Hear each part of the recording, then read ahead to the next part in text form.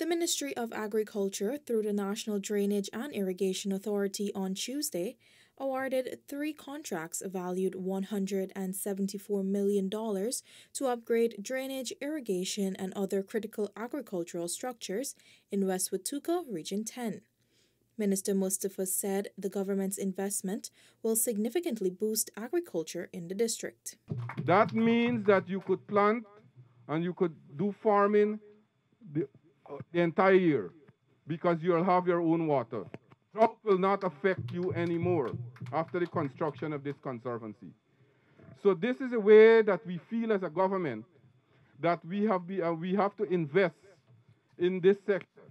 Because let me tell you, when I took over as Minister of Agriculture, there were a number, number of requests across the country to repair and to rehabilitate structures across the country.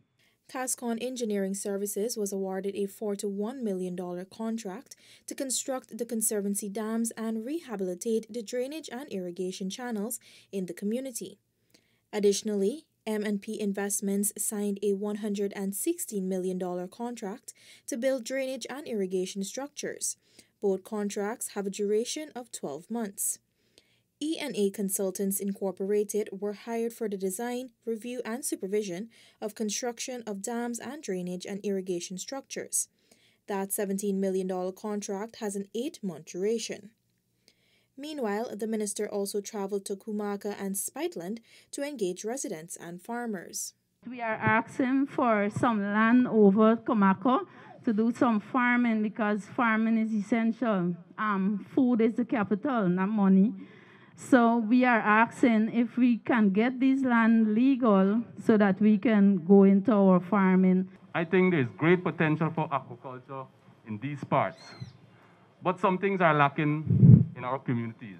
One, we need the technical support. We don't see, or we hardly see the extension officers. Crops, I don't think I've ever seen a crop extension officer in these parts. We do see GLDA, I must say, from time to time, but we really need a technical support. I'm a resident here, and as you can see, it has a, a set of young women here. And I'm asking the government if we can have a processing facility. I would like you to look in for our community benefit. It's been a while that no one seems to look after our drain and our road and we are being left behind. We need country drain because I live here about 15 years and I've been having problems all the time. The same problem when the water is high, the rainfall, the water don't come out of my yard. Responding to the requests made by residents, Minister Mustapha assured them that the ministry will continue to be responsive to their needs. It was reported to me that we have an additional or two additional machines in um, Region 10, and the machines are working around the clock to ensure that we have proper drainage, we have proper irrigation, and we build the infrastructure for the farmers. And those are the way we will continue to work along with you because we recognize the importance of agriculture in our country's development.